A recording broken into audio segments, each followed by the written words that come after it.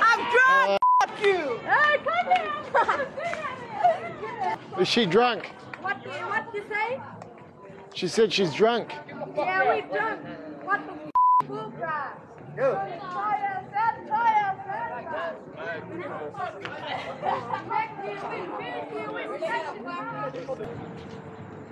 There you go.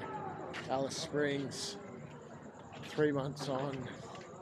There are still children just roaming around. It's 11 o'clock at night here on Thursday, and they're just roaming free. There, we just passed uh, kids that are 15 years old, younger, you know, some probably as young as 10, and they've just run into some cops here.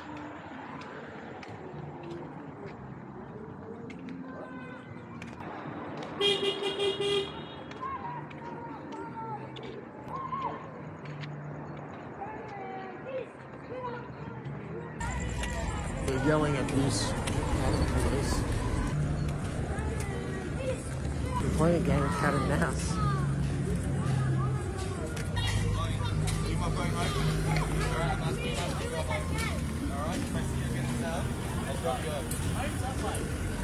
I'm with my big sister. Come. We're taking the bus. We're going to sit in the bus. Yeah. Alright, go sit in the bus. Not gonna see you now. Go get the bus.